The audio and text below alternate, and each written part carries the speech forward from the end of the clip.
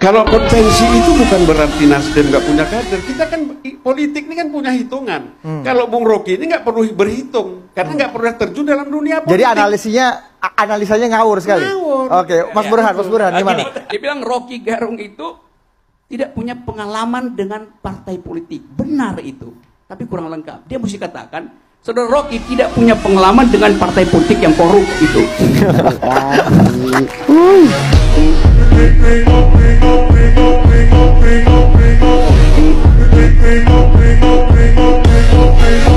you